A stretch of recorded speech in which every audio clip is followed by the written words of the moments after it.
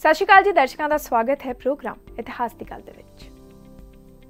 31 ਅਗਸਤ 1956 ਨੂੰ ਭਾਰਤ ਦੇ ਰਾਸ਼ਟਰਪਤੀ ਨੇ ਰਾਜ ਪੁਨਰਗਠਨ ਬਿੱਲ ਨੂੰ ਆਪਣੀ ਸਹਿਮਤੀ ਦੇ ਦਿੱਤੀ, ਜਿਸ ਨੂੰ ਹੁਣ ਰਾਜ ਪੁਨਰਗਠਨ ਐਕਟ ਵਜੋਂ ਜਾਣਿਆ ਜਾਂਦਾ ਹੈ। ਰਾਜ ਪੁਨਰਗਠਨ ਐਕਟ ਨੇ ਭਾਰਤੀ ਰਾਜਾਂ ਅਤੇ ਪ੍ਰਦੇਸ਼ਾਂ ਦੀਆਂ ਸੀਮਾਵਾਂ ਨੂੰ ਪਰਿਭਾਸ਼ਿਤ ਕਰਨ ਅਤੇ ਉਹਨਾਂ ਨੂੰ ਭਾਸ਼ਾਈ ਰੇਖਾਵਾਂ ਦੇ ਆਧਾਰ ਤੇ ਸੰਗਠਿਤ ਕਰਨ ਦੀ ਕੋਸ਼ਿਸ਼ ਕੀਤੀ। ਭਾਵੇਂ ਕਿ 1956 ਤੋਂ ਭਾਰਤੀ ਰਾਜਾਂ ਦੀਆਂ ਹੱਦਾਂ ਵਿੱਚ ਬਹੁਤ ਸਾਰੀਆਂ ਤਬਦੀਲੀਆਂ ਕੀਤੀਆਂ ਗਈਆਂ ਹਨ।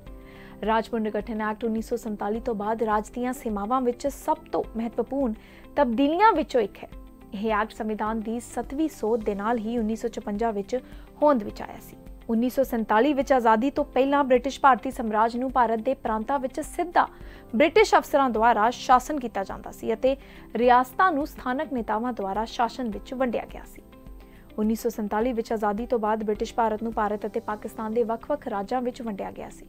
ਇਸ ਤੋਂ ਬਾਅਦ ਰਿਆਸਤਾਂ ਨੂੰ ਭਾਰਤ ਜਾਂ ਪਾਕਿਸਤਾਨ ਵਿੱਚ ਸ਼ਾਮਲ ਹੋਣ ਲਈ ਕਿਹਾ ਗਿਆ ਸੀ। ਜ਼ਿਆਦਾਤਰ ਰਿਆਸਤਾਂ ਭਾਰਤ ਵਿੱਚ ਸ਼ਾਮਲ ਹੋ ਗਈਆਂ, ਜਦੋਂ ਕਿ ਕੁਝ ਨੇ ਪਾਕਿਸਤਾਨ ਦਾ ਹਿੱਸਾ ਬਣਨਾ ਚੁਣਿਆ। 1947 ਅਤੇ 1950 ਦੇ ਵਿਚਕਾਰ ਰਿਆਸਤਾਂ ਨੂੰ ਰਾਜਨੀਤਿਕ ਤੌਰ ਤੇ ਭਾਰਤੀ ਸੰਘ ਵਿੱਚ ਮਿਲਾ ਦਿੱਤਾ ਗਿਆ ਸੀ।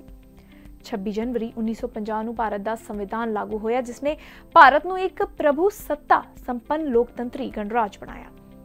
ਨਵਾਂ ਗਣਰਾਜ ਵੀ ਰਾਜਾ ਦਾ ਸੰਘ ਹੋਣਾ ਸੀ ਅਤੇ ਸੰਵਿਧਾਨ ਨੇ ਤਿੰਨ ਕਿਸਮਾਂ ਦੇ ਰਾਜਾਂ ਨੂੰ ਪਰਿਭਾਸ਼ਿਤ ਕੀਤਾ ਸੀ, ਜਿਨ੍ਹਾਂ ਵਿੱਚ ਭਾਗ ਏ ਰਾਜ ਜੋ ਬ੍ਰਿਟਿਸ਼ ਭਾਰਤ ਦੇ ਸਾਬਕਾ ਗਵਰਨਰਾਂ ਦੇ ਸੂਬੇ, ਜਿਨ੍ਹਾਂ ਦਾ ਸ਼ਾਸਨ ਵਿੱਚ ਚੁਣੇ ਹੋਏ ਗਵਰਨਰ ਅਤੇ ਰਾਜ ਵਿਧਾਨ ਸਭਾ ਦੁਆਰਾ ਕੀਤਾ ਜਾਂਦਾ ਸੀ।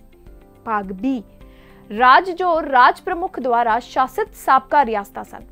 ਭਾਗ ਸੀ।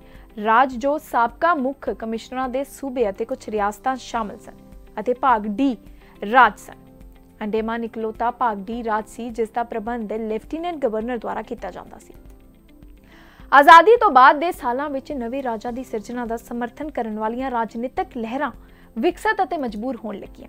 ਇਸ ਸੰਬੰਧ ਵਿੱਚ ਸਭ ਤੋਂ ਪਹਿਲੀਆਂ ਲਹਿਰਾਂ ਵਿੱਚੋਂ ਇੱਕ ਸੀ ਕਿ ਮਦਰਾਸ ਰਾਜ ਦੇ ਉੱਤਰੀ ਹਿੱਸੇ ਵਿੱਚ ਇੱਕ ਤੇਲਗੂ ਬੋਲਣ ਵਾਲਾ ਰਾਜ ਬਣਾਇਆ ਜਾਵੇ।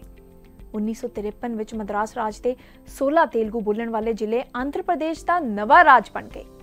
1950 ਤੋਂ 56 ਦੌਰਾਨ ਰਾਜ ਦੀਆਂ ਹੱਦਾਂ ਵਿੱਚ ਛੋਟੀਆਂ-ਛੋਟੀਆਂ ਤਬਦੀਲੀਆਂ ਕੀਤੀਆਂ ਜਾ ਰਹੀਆਂ ਸਨ। ਬਿਲਾਸਪੁਰ ਇੱਕ ਛੋਟੇ ਰਾਜ ਨੂੰ 1 ਜੁਲਾਈ 1954 ਨੂੰ ਹਿਮਾਚਲ ਪ੍ਰਦੇਸ਼ ਵਿੱਚ ਮਿਲਾ ਦਿੱਤਾ ਗਿਆ ਸੀ ਅਤੇ ਫ੍ਰਾਂਸੀਸੀ ਭਾਰਤ ਦਾ ਸਾਬਕਾ ਐਨਕਲੇਵ ਚੰਦਰਨਾਗੌਰ 1955 ਵਿੱਚ ਪੱਛਮੀ ਬੰਗਾਲ ਦਾ ਹਿੱਸਾ ਬਣ ਗਿਆ ਸੀ।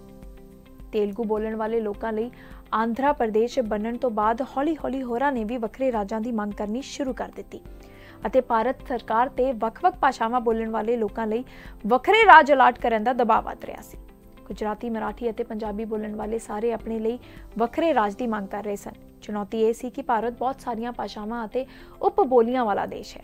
ਅੰਤ ਵਿੱਚ ਇਹ ਫੈਸਲਾ ਕੀਤਾ ਗਿਆ ਕਿ ਕਿਸੇ ਰਾਜ ਦਾ ਵਿਕਾਸ ਬਹੁਤ ਹੱਦ ਤੱਕ ਖੇਤਰੀ ਭਾਸ਼ਾ ਦੇ ਵਿਕਾਸ ਉੱਤੇ ਨਿਰਭਰ ਕਰਦਾ ਹੈ। ਭਾਵੇਂ ਕਿ ਬਹੁਤ ਸਾਰੇ ਆਲੋਚਕਾਂ ਨੇ ਇਸ ਭਾਸ਼ਾਈ ਵਿਛੋੜੇ ਨੂੰ ਵੰਡ ਵਜੋਂ ਦਰਸਾਇਆ। ਗਾਂਧੀ ਵਰਗੇ ਨੇਤਾ ਦਾ ਵਿਚਾਰ ਸੀ ਕਿ ਸਿੱਖਿਆ ਜਮਹੂਰੀਅਤ ਦੇ ਅਸਲ ਤੱਤ ਦੇ ਨਾਲ-ਨਾਲ ਸਿਰਫ ਸਧਾਰਨ ਪਿੰਡ ਵਾਸੀਆਂ ਨੂੰ ਸਮਝਾਇਆ ਜਾ ਸਕਦਾ ਹੈ। ਉਹਨਾਂ ਦੀ ਖੇਤਰੀ ਭਾਸ਼ਾ ਵਿੱਚ ਇਸ ਲਈ ਰਾਜਾ ਦੀ ਭਾਸ਼ਾਈ ਵੱਖ ਹੋਣਾ ਇੱਕ ਚੰਗਾ ਵਿਚਾਰ ਜਾਪਦਾ ਸੀ। ਭਾਰਤ ਸਰਕਾਰ ਦੁਆਰਾ ਬਣਾਏ ਗਏ ਸਿੱਖਿਆ ਕਮਿਸ਼ਨ ਦਾ ਵੀ ਮੰਨਣਾ ਸੀ ਕਿ ਜੇਕਰ ਵਿਦਿਆਰਥੀਆਂ ਨੂੰ ਉਹਨਾਂ ਦੀ ਮਾਤ ਭਾਸ਼ਾ ਵਿੱਚ ਸਿੱਖਿਆ ਪ੍ਰਦਾਨ ਕੀਤੀ ਜਾਂਦੀ ਹੈ ਤਾਂ ਉਹਨਾਂ ਨੂੰ ਸਿੱਖਿਆ ਪ੍ਰਦਾਨ ਕਰਨਾ ਆਸਾਨ ਹੁੰਦਾ ਹੈ। ਅਤੇ ਕਿਉਂਕਿ ਭਾਸ਼ਾ ਇੱਕ ਆਧਾਰ ਸਾਧਨ ਸੀ, ਜਿਸ ਰਾਹੀਂ ਦੋ ਲੋਕ ਇੱਕ ਦੂਜੇ ਨਾਲ ਸੰਚਾਰ ਕਰਦੇ ਹਨ ਅਤੇ ਅੰਤ ਵਿੱਚ ਸਪਸ਼ਟ ਸੰਚਾਰ ਵਿਚਾਰਾਂ ਦੇ ਆਦਾਨ ਪ੍ਰਦਾਨ ਅਤੇ ਅੰਤ ਵਿੱਚ ਵਿਕਾਸ ਵੱਲ ਲੈ ਜਾਂਦਾ ਹੈ। ਰਾਜਾਂ ਦੀ ਭਾਸ਼ਾਈ ਵੰਡ ਅੱਗੇ ਵਧਣ ਦਾ ਫੈਸਲਾ ਕੀਤਾ ਗਿਆ ਦਸੰਬਰ 1953 ਵਿੱਚ ਤਤਕਾਲੀ ਪ੍ਰਧਾਨ ਮੰਤਰੀ ਜਵਾਹਰ ਲਾਲ ਨਹਿਰੂ ਨੇ ਇੱਕ ਰਾਜ ਪੁਨਰਗਠਨ ਕਮੇਟੀ ਨਿਯੁਕਤ ਕੀਤੀ, ਜਿਸ ਦੀ ਅਗਵਾਈ ਜਸਟਿਸ ਫਜ਼ਲ ਅਲੀ ਕਰ ਰਹੇ ਸਨ ਅਤੇ ਇਸ ਨੂੰ ਫਜ਼ਲ ਅਲੀ ਕਮਿਸ਼ਨ ਵਜੋਂ ਜਾਣਿਆ ਜਾਂਦਾ ਸੀ। ਇਸ ਕਮਿਸ਼ਨ ਦੁਆਰਾ ਕੀਤੇ ਗਏ ਕੰਮ ਦੀ ਨਿਗਰਾਨੀ ਬੱਲਬ ਪੰਤ ਦੁਆਰਾ ਕੀਤੀ ਗਈ ਸੀ, ਜੋ ਦਸੰਬਰ 1954 ਤੋਂ ਗ੍ਰਹਿ ਮੰਤਰੀ ਵਜੋਂ ਸੇਵਾ ਨਿਭਾ ਰਹੇ ਸਨ। 1955 ਵਿੱਚ ਕਮਿਸ਼ਨ ਨੇ ਭਾਰਤੀ ਰਾਜਾ ਦੇ ਪੁਨਰਗਠਨ ਦੀ ਸਿਫਾਰਿਸ਼ ਕਰਨ ਵਾਲੀ ਇੱਕ ਰਿਪੋਰਟ ਦਾ ਖਰੜਾ ਤਿਆਰ ਕੀਤਾ। 31 ਅਗਸਤ 1956 ਨੂੰ ਰਾਜ ਪੁਨਰਗਠਨ ਐਕਟ ਪਾਸ ਹੋਇਆ ਅਤੇ ਉਸੇ ਸਾਲ 1 ਨਵੰਬਰ ਨੂੰ ਲਾਗੂ ਹੋਇਆ। ਹਾਲਾਂਕਿ ਇਸ ਤੋਂ ਪਹਿਲਾਂ ਭਾਰਤ ਦੇ ਸੰਵਿਧਾਨ ਵਿੱਚ ਇੱਕ ਮਹੱਤਵਪੂਰਨ ਸੋਧ ਵੀ ਲਾਗੂ ਹੋ ਗਈ ਸੀ। ਇਸ ਨਵੀਂ ਸੋਧ ਦੇ ਤਹਿਤ ਭਾਗ A, ਭਾਗ B, ਭਾਗ C ਅਤੇ ਭਾਗ D ਰਾਜਾਂ ਵਿੱਚ ਮੌਜੂਦਾ ਅੰਤਰ ਨੂੰ ਖਤਮ ਕਰ ਦਿੱਤਾ ਗਿਆ ਅਤੇ ਉਹ ਰਾਜਾਂ ਵਜੋਂ ਜਾਣੇ ਜਾਣ ਲੱਗੇ ਜਦੋਂ ਕਿ ਭਾਗ C ਅਤੇ ਭਾਗ D ਰਾਜਾਂ ਦੀ ਥਾਂ ਕੇਂਦਰ ਸ਼ਾਸਿਤ ਪ੍ਰਦੇਸ਼ ਬਣ ਗਏ। ਬਾਅਦ ਵਿੱਚ ਪੰਜਾਬ ਦੀ ਵੀ 1966 ਵਿੱਚ ਵੰਡ ਹੋਈ ਅਤੇ ਹਰਿਆਣਾ ਨਾਮਕ ਰਾਜ ਦੀ ਸਥਾਪਨਾ ਹੋਈ। ਇਤਿਹਾਸ ਤੋਂ ਜੁੜੀ ਜ਼ਰੂਰੀ ਜਾਣਕਾਰੀ ਲਈ ਜੁੜੇ ਰਹੋ ਸਾਡੇ ਚੈਨਲ ਦੇ ਨਾਲ। ਸਤਿ ਸ਼੍ਰੀ ਅਕਾਲ।